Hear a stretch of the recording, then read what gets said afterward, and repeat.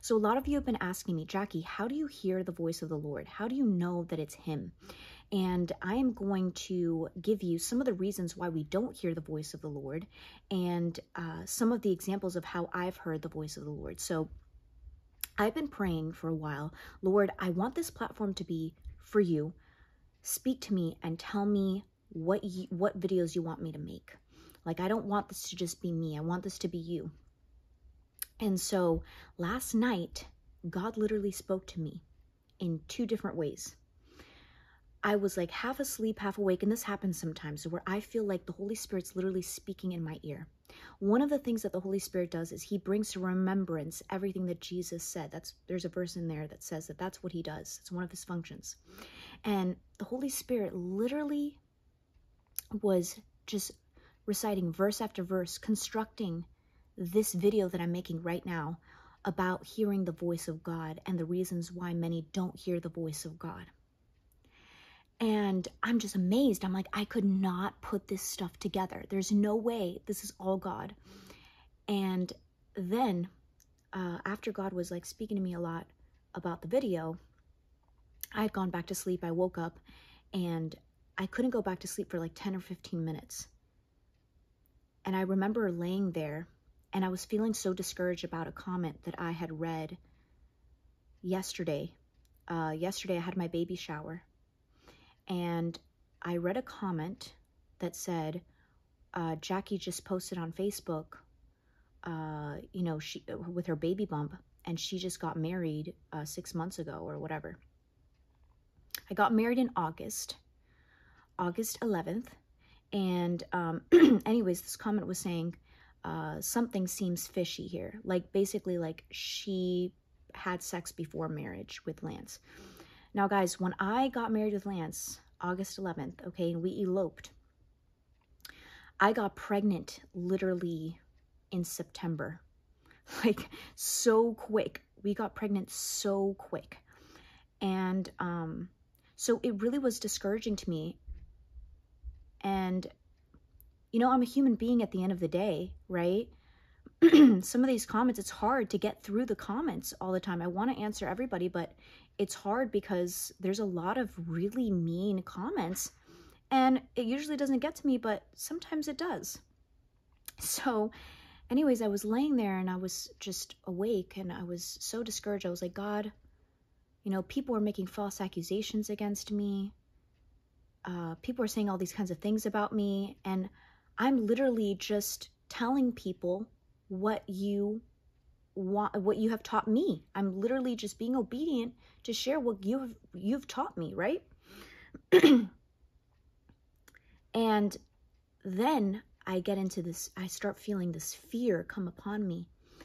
And it's that somebody is going to do something to harm me. And i'm thinking oh my gosh god i'm so scared. I'm so scared and the audio Bible that my husband is playing all of a sudden goes into this. Right after I finished that last thought, venting to God about everything I'm worried about, it says this. Listen to this, guys. It's crazy how God literally spoke to me through his word, through the audio Bible in that moment. It says Matthew 10 25 to 28. If they have called the master of the house Beelzebub, which is like the devil, they've called the master of the house, which is Jesus, Beelzebub, how much more will they malign those of his household? Or other translations, his servants. If if they called Jesus like somebody that had demons and everything, how much more are they going to call his servants you? You're following him. They're going to insult you just like they insulted him. Right? So God's touching on that and that false accusation against me. And then it says, so have no fear of them, for nothing is covered that will not be revealed. Right? When I give birth, people are going to see that if you add the math up, I would have been having a baby by now had I had sex before marriage, right? so God's saying, I will reveal everything in its time. So it says, or hidden that will not be known. When I tell you in the dark, guys, God is so amazing how he speaks. When I tell you in the dark, what I tell you in the dark, say in the light. And what you hear whispered, proclaim on the housetops. And do not fear those who kill the body, but cannot kill the soul. Rather, fear him who can destroy both soul and body in hell. So don't fear man, fear God. And it's saying right here, God was saying to me, the things that I'm whispering in your ear, right? Just about the video and everything that you do on your channel. You're doing what you're supposed to be doing. Don't fear man. Reveal it, proclaim it on the housetops. And then he says, Don't fear man. Don't fear he, he who can kill the body, but fear me alone. Because I can destroy both body and hell, a body and soul in hell. So I was just amazed by this, guys how God had spoken to me. And there's so many different ways that God speaks to us, right? But here are some of the ways that this here are some of the reasons why we don't hear the voice of the Lord. We are unfaithful in the small requests, okay? We want God to speak to us and we want to hear him clearly, right? But we're not faithful with the little things, right? So sometimes I'll be in like a conversation with somebody and I have this thought to, you know, to share something vulnerable with them, but I can't really trust them. And God says, don't say it. Or I'm in a conversation with somebody who I can trust, but, you know, I'm going to say something that's not right or it's mean or whatever, or it's insulting. And God says, don't say it. And there's, it's just a still small voice of knowing, don't say it and I say it and I end up regretting it and there's a storm and the person gets angry and then we get into an argument. God wants us to be faithful in the little and he will give us the much, right? So if you're not faithful to listen and, and obey God in the little things he asks of you, in the little things he tells you to do, he will not entrust you with the greater revelations when I would do that, God would suddenly stop giving me revelations, st- suddenly stop really talking to me as often. Because He's like, You're not going to listen to me. Okay, well, you're not hearkening unto my voice. I'm not going to harass you. I'm going to give you your space. So, the Bible says, He that is faithful in that which is least is faithful also in much. If you want to know if somebody's faithful to you, if somebody's a faithful friend, if they tell people about one little thing that you did, a little secret, they're going to tell people about the big. If they're unfaithful in something small, they're going to be unfaithful in the much. That's how God measures us. And he that is unjust in the least is also unjust in the much. Therefore, you have not been faithful in the righteous, if you have not been faithful in the righteous mammon, which is money, who will commit to you your your uh commit your trust the true riches. So if you've not been faithful to god with your money right to give out of how much he gives you right if you're not faithful to give to his kingdom then you know it, it, maybe it's an orphanage god's putting on your heart. Maybe you know who whatever it is that the lord is putting on your heart or helping a brother or sister in christ with finances if you're not faithful with that how how are you thinking that god's going to bless your business startup? How you think that god's going to bless you know uh, your finances and help you with a new job? You're not even faithful to him with your money right?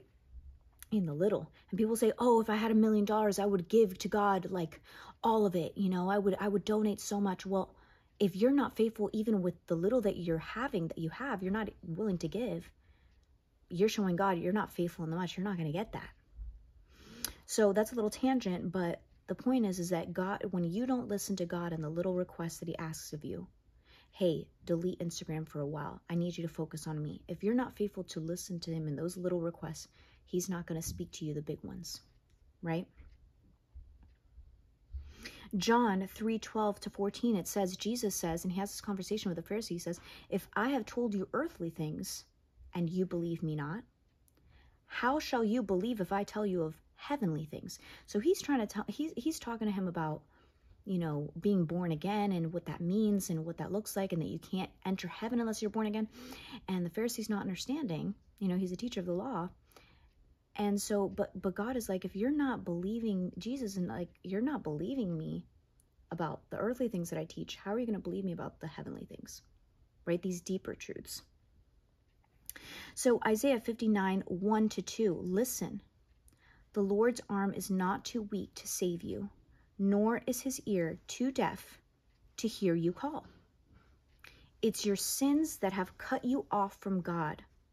Because of your sins, he has turned away and will not listen anymore. So I find that when I'm obedient in the small requests, he begins to speak on more things. And when I'm obedient to put into practice his written word, he begins to speak to me more clearly. Okay? We want to hear from God and we become prophecy junkies. I was one of them where we go from kingdom spouse prophet to king or whatever prophet on YouTube about hey and you look at all of their videos and it's always a word that tickles the ears it's always oh you're you're about to get promoted oh what God's going to do in your life is going to make them jealous oh your ex is spying on you oh it's all these vain things it's all about worship of self you have to discern these things right? And we have to be careful with who we're listening to. But you know we, we want to hear so much from other people and from prophets but we don't want to hear we, we don't understand. God speaks to us directly.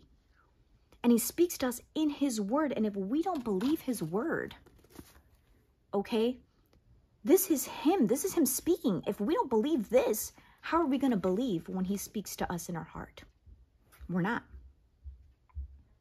another reason why we we don't hear from the lord we don't hear his voice clearly is we reject his word Okay, we want to hear God's voice, but we disagree with his word. We say, well, I believe in Jesus, but I don't agree with everything the Bible says.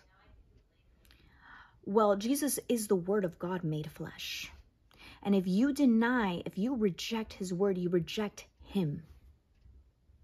Right? He is his word you know his words will never pass away. And so we cannot you know if, if we're saying yeah I, I believe in the bible i believe in jesus but i don't believe like i've said many times before that homosexuality is a sin that abortion is a sin that da da da da da then we're not believing jesus. We're denying him.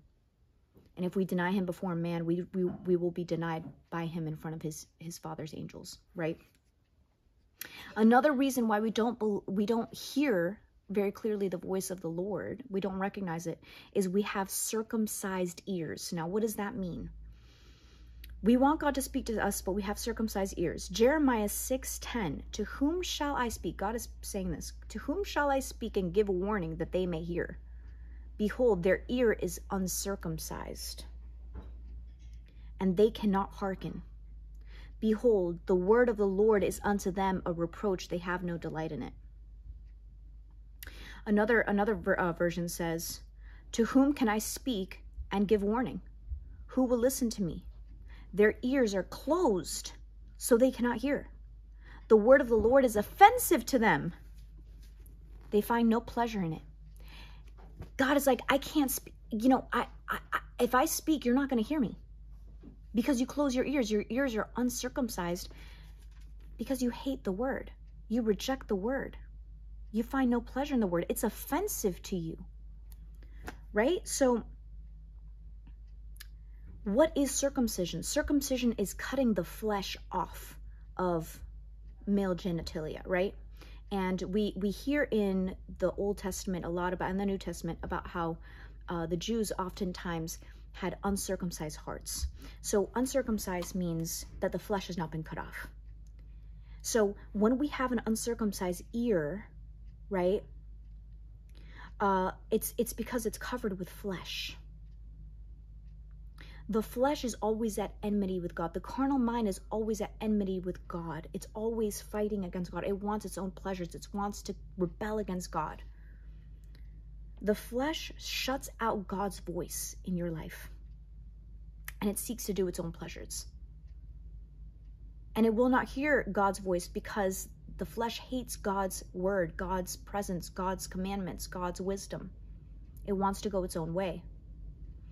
And an uncircumcised ear loves to look for those teachers that tickle the ears, that appease the flesh, that say, no harm will come, peace, peace.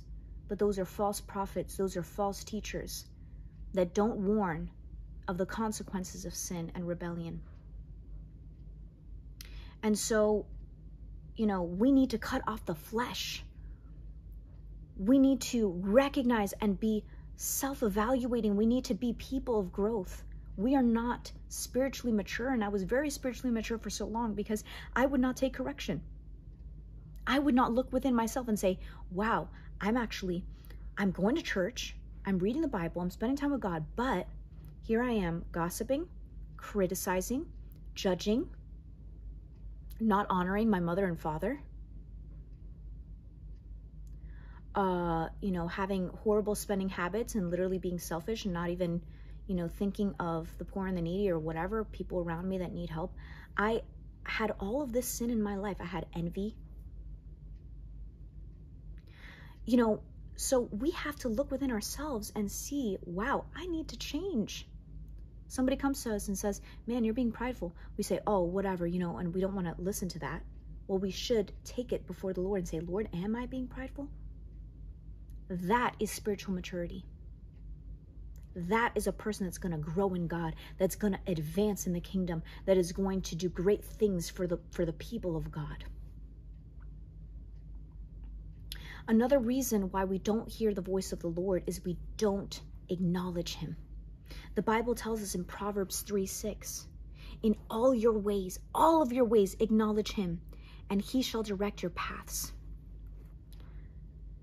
if you want to hear the voice of the Lord, acknowledge him. God has an opinion on everything that you do, and he will speak into the things that you bring to him, right? God has a say in everything. So it takes humility to pray. A lot of people are like, well, I just, you know, and they and they and they they say, I just thank God all the time because you know i don't need to pray and ask him for things. I have everything i need. I'm very thankful. It's this false humility of i just say thank you to god because i don't need to pray. I don't need to ask him. Well actually it takes more humility to ask for help than it does not to because you're depending on god. People like that are just uh, masquerading um, themselves wanting to be their own gods and do their own thing and not acknowledge god and they think I, I don't need God. I got it all together. I don't need to ask Him for anything. Yes, we do. We literally need God. We need God every second that we have a breath in our lungs. We need Him. And the when you pray about something, you're going to see God's hand in that something. You want to see God's hand move in more areas of your life? Start praying about those areas in your life. You want you want God to, to give you instruction on these things? Bring God into the situation.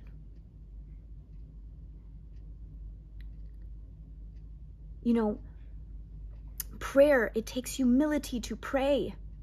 It takes strength to pray. And it takes discipline to pray. And it takes perseverance because the enemy, the minute you start praying, the devil goes on attack mode. Because you're entering spiritual warfare. And so we want to hear the voice of the Lord. I'm telling you, sometimes I hear the voice of the Lord speak and he's he's like a father he's like, you know, sometimes you're you're walking out of your house, right? And all of a sudden you're like you're thinking you're looking at that lint roller, right? You're like, I'll never need that, you know, whatever. Man, and then you have that thought, maybe I need it today. Nah, I don't need it. And then you walk out and you end up needing it that day. And it's because God was literally saying, hey, you know, you need it. God, God, we think God doesn't speak about those little things. God cares about everything. God is like a father. He's like, don't forget your sweater. God speaks all the time. We just don't listen. God speaks through dreams and we don't listen. God speaks through circumstances. You know, we've been dating this person. This person is leading us away from God. This person is gaslighting us. This person is, uh, you know, not wanting, not on the same page with us regarding the things of God, insulting our relationship with God, saying that we're too religious because we don't want to listen to worldly music or whatever. Guys, who you marry is going to be so important, will make or break so many things. Don't settle because you're you're lonely. Listen to the circumstances. God speaks through circumstances. So God speaks in many ways. I know that this was a little more firm, but I'm telling you, this is not out of judgment for anybody. I am myself guilty of not hearing the voice of the Lord for these reasons. So, God is speaking to you God speaks to you all the time, and you do not need a prophet to hear the voice of the Lord because you don't need to go to the manager, honey, when you can go straight to the CEO. You don't, the only mediator between God and man is Christ Jesus. That's it.